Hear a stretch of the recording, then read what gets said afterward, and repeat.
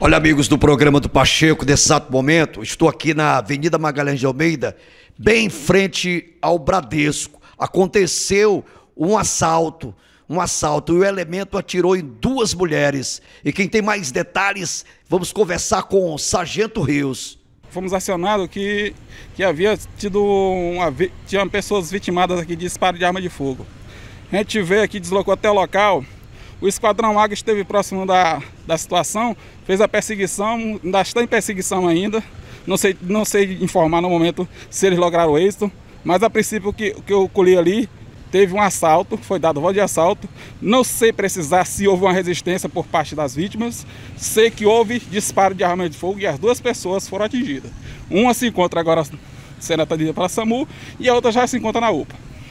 Sargento, que situação, né? Os elementos não têm hora mais para assaltar aqui na cidade de Coroatá. Eles invadiram a casa da pessoa com, com arma? Você já tem essas informações? A princípio aqui, ó, o cidadão aqui, que parece-me que é um do, cônjuge aqui da, da, das vítimas, parece-me que eles tentaram invadir. Porque houve a resistência de dar no celular ou não, mas imediatamente eles evadiram, até mesmo por, pela situação que é no centro da cidade. Movimento grande, então eles evadiram sorrateiramente aí. A polícia fez a perseguição ainda desses elementos?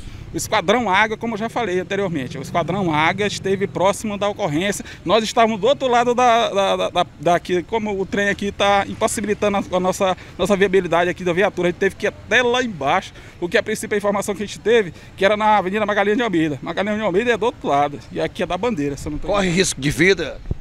A priori, não. Os locais onde foram atingidos foram braço e antebraço e parece minhas costas.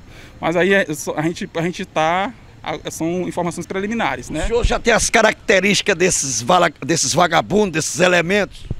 Não, porque a gente ainda não conversou com as vítimas, a gente conversou com um testemunho que não estava no local, viu o movimento todo, mas sabe dizer que foram dois elementos em uma moto. Não sabe dizer se é uma Pop, pode ser uma Titan, não sabe precisar que moto é. No momento, não. Qual é, qual é o procedimento de vocês a partir de agora? A gente já está fazendo as diligências, as outras, o Esquadrão Águia está fazendo perseguição, pedindo informação. O pessoal do Serviço de Inteligência foram informados. Meu comandante já passei informação aqui direito e vamos fazer, nós vamos fazer a varredura na cidade e colher informação o máximo possível para a gente ver, dar uma resposta à altura para a sociedade corataense.